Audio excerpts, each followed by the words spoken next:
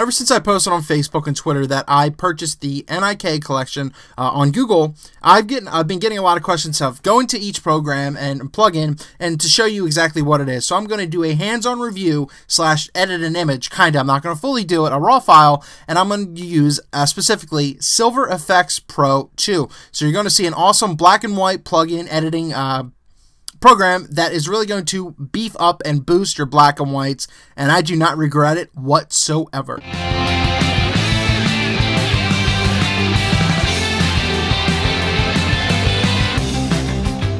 So your first question to me might be, well, what the heck is the NIK collection software? Well, it's something that's really, really popular and that a lot of people have taken advantage of since the price has, you know, basically jumped from, you know, being like $300, $400 to 150 bucks, and you could even discount codes to make it like $123. So it's something to keep in mind. Yes, the price tag sounds big, but trust me, if I can justify it, I really, I really prefer something like this, but you'll see why in a minute. Yeah, here's what you get with the Nikon collection. You get an HDR Efex Pro, which is actually really good. I don't do a ton of HDR because I don't prefer it, but it's something awesome. You get a lot of stuff for portraiture, uh, for colors, boosting colors, um, and everything, something like that. But I'm gonna, as I said, I'm gonna specifically go into Silver Efex Pro, the black and white editing program that is just freaking awesome. So let's jump right into it. Here's the raw file I'm gonna edit. Okay, so here's your raw file. This is just a nice can a candid moment that I got. I was just laying on the ground, the kids were playing, whatever. It's not about that. During a Thanksgiving uh, photo shoot for a family. So as I said, we're gonna jump right into it, and this is what I would do. I would open up my raw file and it doesn't matter if you're using Lightroom or Photoshop because it's the exact same thing. You're editing a raw file and you're just going into the program anyway. So what I like to do is just, I, I will do my edits. So, you know, I would fix the crop a little bit. I'm not going to go 100% into it because it's not this type of video. But, you know, I'd fix the crop, get it straight, etc. You know, work with the framing a little more, blah, blah, blah. Great, awesome. So, but one of the first things I would do is, you know, maybe I would get just what I like, right? The uh, color temperature and everything. But really, it kind of doesn't matter because you're just going into black and white. So what I like to do personally is just go drop the saturation down and I will drop it down to black and white myself. Yes, it's not going to be as contrasty. I mean, you can adjust it uh, according to what you like. I like it very contrastistic. It's an, it's an awesome word. So I'll set it right here. Uh, I get it just a slight touch because you can really go into it within there. Okay, so I'm going to open up the image. So all I did was just adjust it for how I liked. So now we are going to jump in here. I don't like using this one. Uh, if you say if you don't have that screen, you will go to right into your filter tab, or and it'll show up in uh, Lightroom as well. And you go to your NIK collection, you get all the things here that you could use. But as I said, we are targeting Silver Efex Pro, so you're going to notice that this will load up, and this will load into the program. Now, while this is loading, I'm going to tell you something really quickly. Um, you can use this program separately. You don't have to use it just as a plugin. But the problem is when you use this, so if I just went to my applications and just opened up the program by itself, it'll open up, it'll have everything you need, etc. When you go to save the image, so you could do the exact same edit uh, through the plugin or through uh, the program itself. When you go to save the image, your image will be greatly compressed. I learned that a hard way when I was doing a, a wedding uh, photo and I was just starting to use this and it really looked great, but then the file went from like uh, 10 megabytes to like 1.9. Now I was like, what the heck happened? So keep that in mind. So I don't necessarily use Silver Efex Pro, the program by itself. I just use it through um, my Photoshop and the plugin, and it doesn't degrade it whatsoever in this. It'll keep it as the way it is. So just a heads up if you're wanting to use that. Once again, I learned that the hard way. So I was like, I'm going to run through the options and I'll show you how I would edit this. Okay, so you see it is in black and white. That's great. Now the reason I say kind of leave it a little flat, I mean I did boost it a little bit, is because I like the way it handles the uh, the contrast in here. So you can really beef it up to get yourself. It just looks great. Once again, I like a more thick black and white photo, but I'm going to leave it to... Um, 0 and we will go from there and I will run through exactly what you can get. So all in all, you get a huge selection of things you can um, use, and really it's just pick and play, pick and play you're choosing. So you're going to show something underexposed, which obviously that doesn't look great. You're going to show something overexposed. Um, landscapes use this a lot. High contrast, you'll see a lot of music, uh, photography.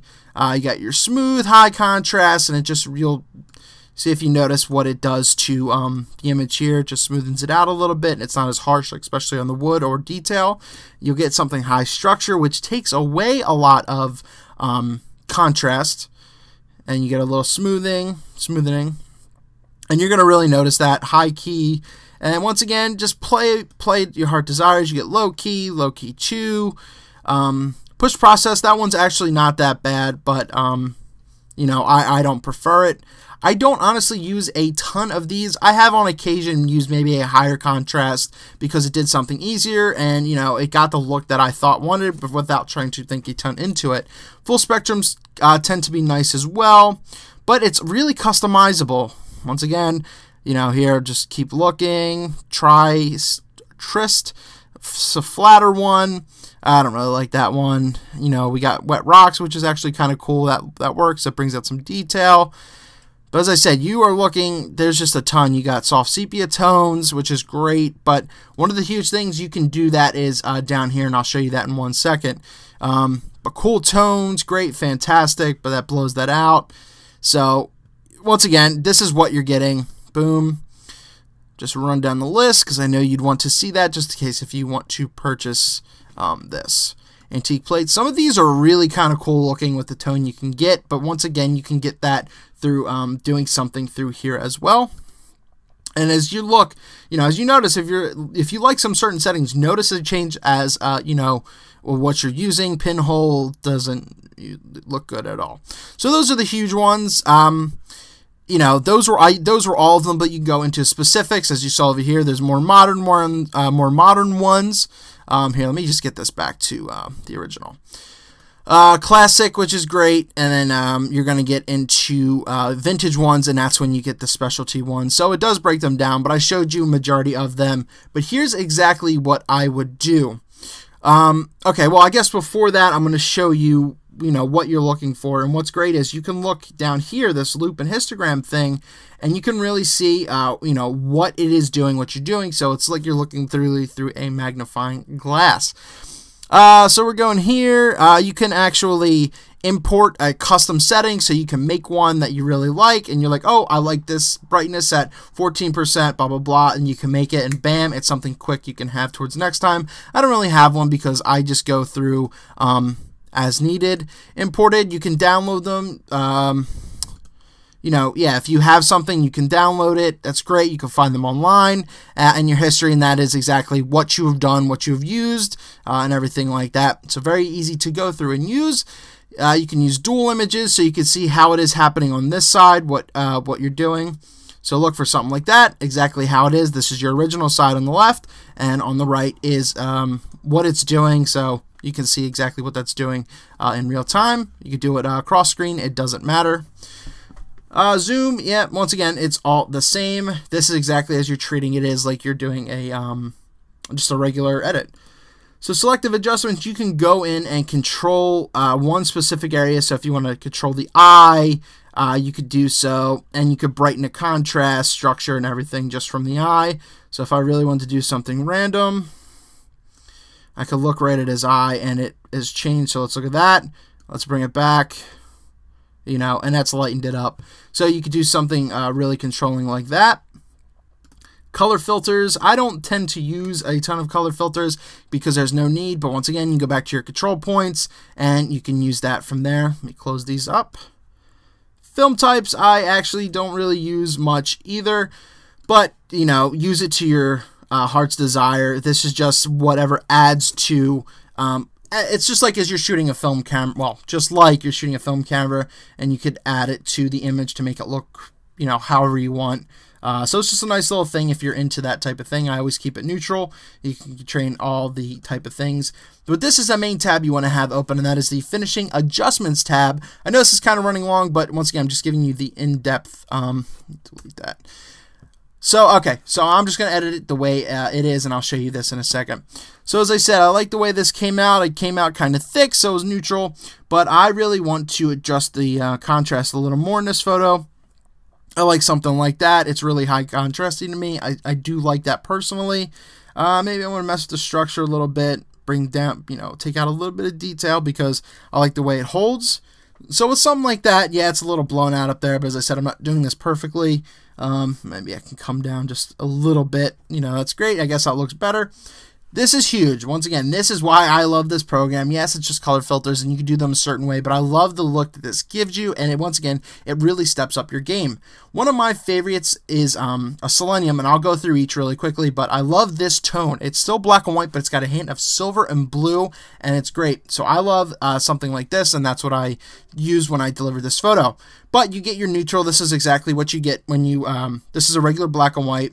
You get this pinkish type of tone, which I don't really know what you would use it for. This is a cool kind of green, horrorish type of one. And then it goes through the various levels. Selenium, it's really thick. Then you go through a blue toner, which that one's pretty nice. Uh, you know, as you see, it's going there. Cyanotype, boom, boom, boom. Coffee, which is which can be interesting and around. It's a different type of sepia, but obviously sepia is a little darker. Copper toning is pretty cool. Um, but as I say, you can get really heavy with these. It might not look as great, but do it as your heart desires. As your sepia. Um, this is a really nice sepia. It's 20. And Ambrotype is really interesting as well. Uh, I don't know what the heck you would use this one for, but uh, 22 is awesome because it gives you a nice little brown tint. But this one could be used if you're doing something more antique. But as I said, my main one is Selenium 4. So you'll see me with a blue tint. And then you could add on your own vignetting through here so you get some mad fall off. Mad fall off, what am I, 14? Um, don't ever use a white frame at all. Please don't ever do that black frames, uh, which is great. Uh, lens fall off, I usually use like a maybe a one, so it's just something different.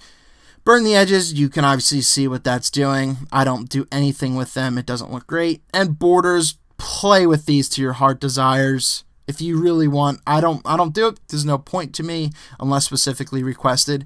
But I mean, that's it. That is Silver Efex Pro. I ran into everything in pretty in depth with you.